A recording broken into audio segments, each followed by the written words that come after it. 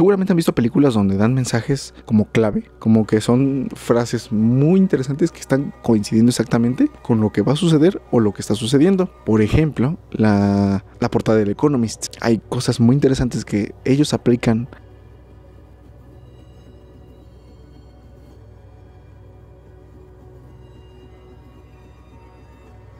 a la psicología, pero acuérdense, eso es mental, es decir,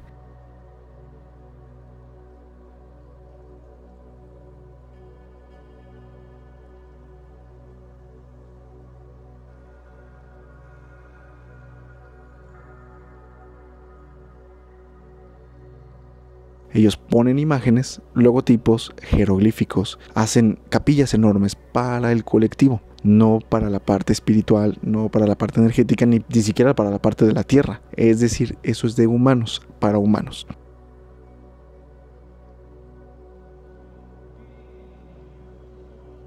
Todos los rituales que conocemos, llámese conciertos, llámese eh, misas, llámese religiones, todo, todo, todo eso, esa reunión de masas colectivas son mentales. Es decir, cuando tú vas a un concierto, sí estás drenando energía, sí estás drenando pensamientos, emociones que suben y se canalizan hacia naves enormes, que no son físicas porque no las podemos ver, pero con el objetivo de estudiar, ni siquiera de alimentar.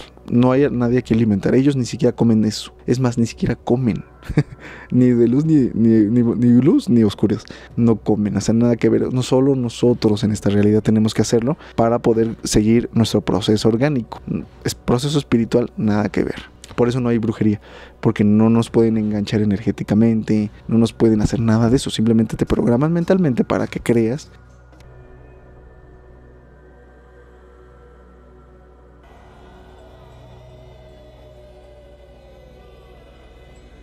sigas un patrón de conducta. Por eso se llaman programas de televisión.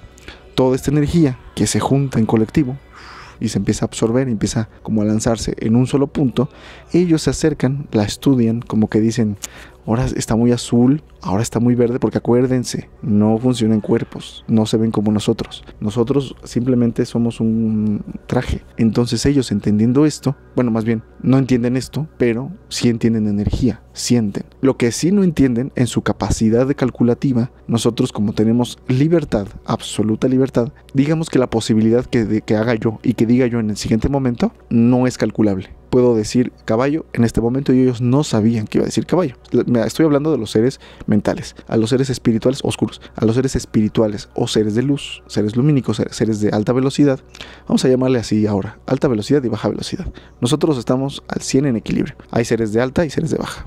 Bueno, a los seres de baja no entienden, no pueden calcular. Ellos son calculadores, ellos entienden la parte mental muy bien, pero no pueden calcular probabilidad calculan posibilidad a través de un cálculo de situaciones que pueden suceder y ni siquiera tienen que ver con esta realidad física. Es decir, ellos no saben qué es sentir feo, mal, dolor, amor, pasión. Ellos no saben todo esto. Lo que ellos ven es vibración, ellos ven lucecitas. Entonces imagínate que estás en un cuarto oscuro a tu velocidad de menos 20, o sea, estás hasta abajo de toda la cadena evolutiva.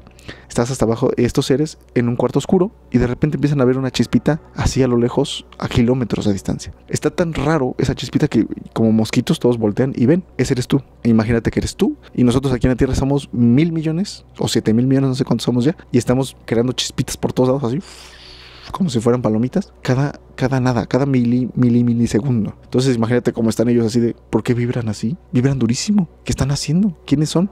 Entonces ellos no, no ven la vida humana, no ven un coche, no ven un perro, no ven, ven brillos, destellos, cositas así por todos lados. Nosotros, como humanos, imaginamos porque tenemos la capacidad de visualización de los seres de quinta dimensión, pero también calculamos como los seres de baja dimensión, de baja velocidad. ¿Por qué? Bueno, vamos a hacer un paréntesis de por qué. Nosotros fuimos creados por los, los dos, oscuros y altos. ¿Por qué?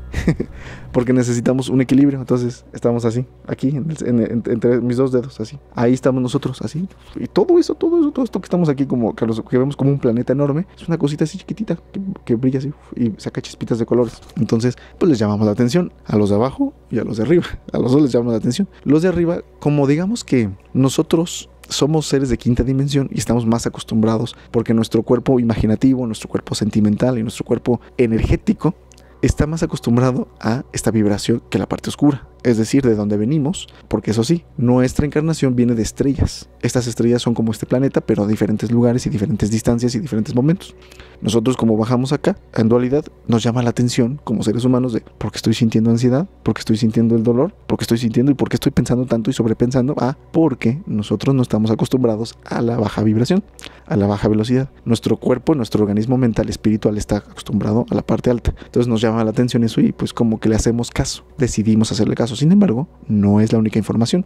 Eh, hablando de esto, o porque estoy platicando un tema al aire, eh, cuando nosotros morimos, vamos directo a la alta velocidad, subimos nuestra velocidad. De hecho, no morimos, aceleramos nuestro proceso de energía. Entonces, nuestro proceso de energía, como va más rápido, este cuerpo ya lleva una velocidad de 100 y máximo llega a 100.1%. Nuestra energía eh, emocional, espiritual y mental, bueno, imaginativa, por decirlo así. Nuestra creatividad va a 200% de velocidad, 200 de velocidad.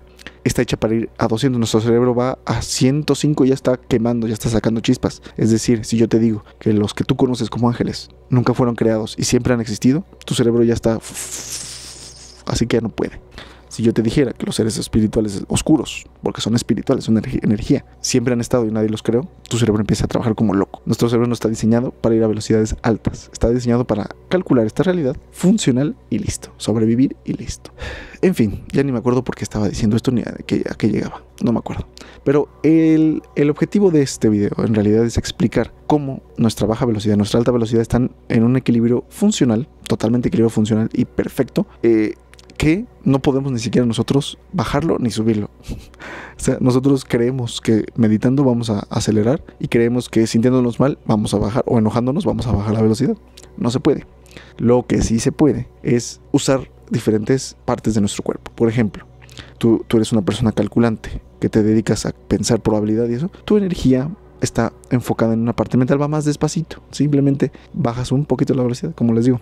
Cuando tú bajas al 100 menos al 99.5%, ya empiezas a entender y a escuchar cositas así, pero oscuras. Porque ellos, los de abajo, suben su velocidad y te tratan de cachar. Y los de arriba, cuando tú estás al 100, que subes a 100.1%, ya empiezas a ver todos estos seres de alta velocidad y ellos ni siquiera bajan. Ellos de, ah, ya nos está viendo, qué chido. Y los de abajo, oh no mames, este cuate sí es poderoso, le voy a hablar. Así funcionamos, así de simple.